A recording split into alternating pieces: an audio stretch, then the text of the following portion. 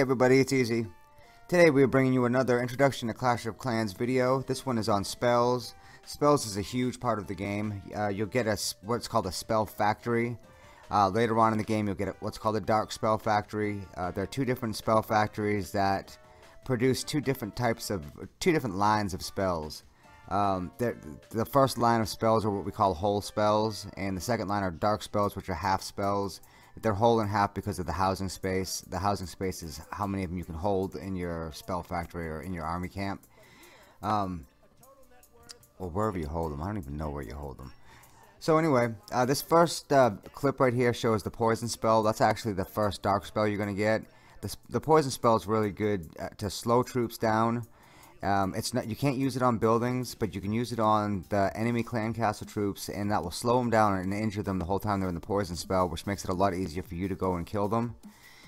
Uh, what we're going to do is there's a bunch of different spells that we used in this video, so we'll just explain the spells as they come up, and uh, we'll give some brief explanations just to get everyone used to seeing some of these spells. You're not going to get a lot of them until later on in the game, but it's still good to know what's out there, what's available to you, uh, I know a lot of people are watching this because they, you just downloaded Clash and you're just kind of getting a feel for the game and this will give you a little peek ahead of what you're going to have.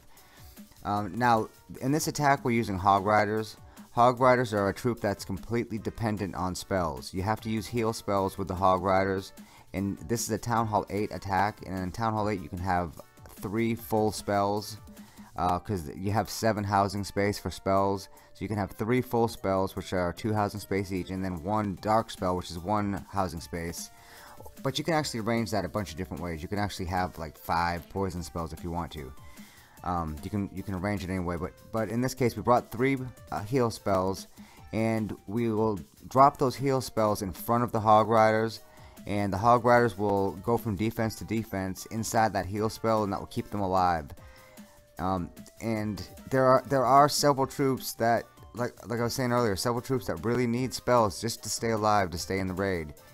So um, it's not like it's the spells are just an added bonus to the game. They're they're a necessity to use.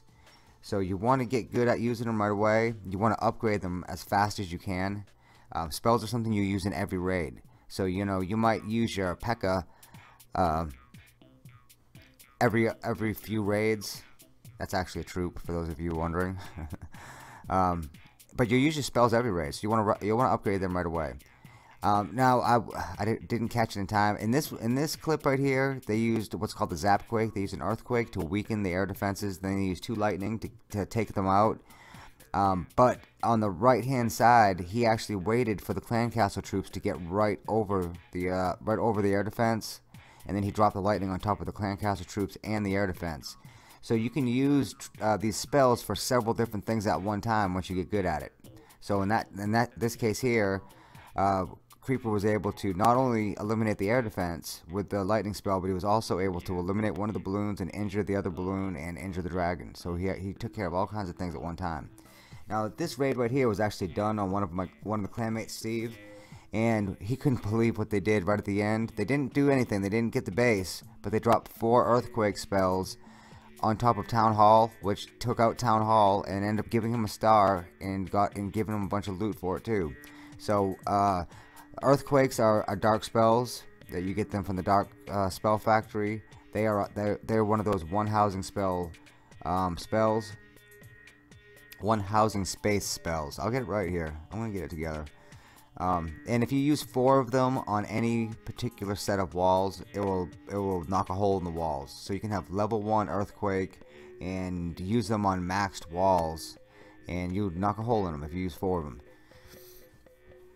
Um, now in this in this particular video here, or this clip, we use some jump spells right at the end.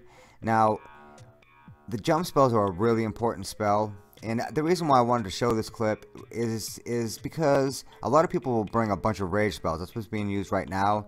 Rage spells increase the troops damage and increase the, the troops speed. And it's a really powerful spell. It boosts everything up. It makes it look real awesome. And they just smash right through everything. So people love using the rage spells.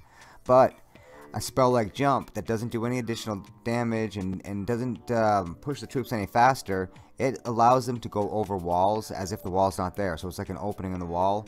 So it's a huge spell to use because you can actually control where the troops go by using the jump spell.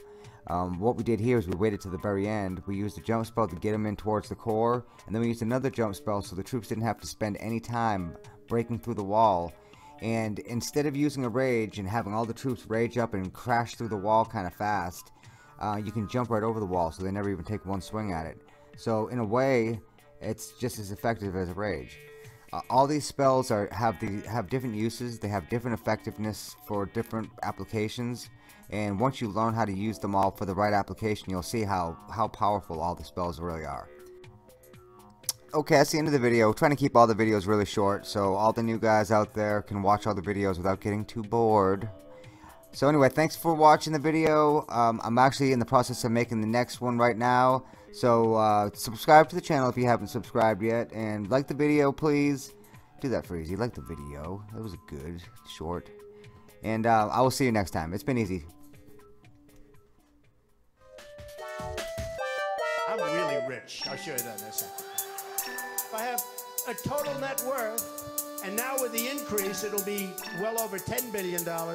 But here, a total net worth of 8 billion. Net worth, not assets, not liability, a net worth. I'm not doing that to brag because you know what? I don't have to brag. I don't have to, believe it or not.